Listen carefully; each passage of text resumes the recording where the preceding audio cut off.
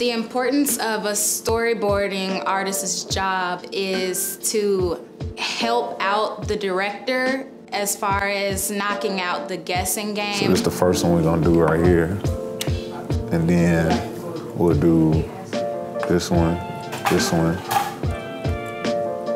this one, this one, and that one. He doesn't have to go through his head and think about what's this scene gonna be because he has a lot of stuff going on.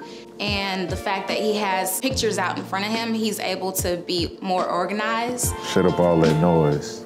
Okay, yeah, they need, then they need to look to the right. Once everybody sees that picture, everybody's able to understand what needs to be captured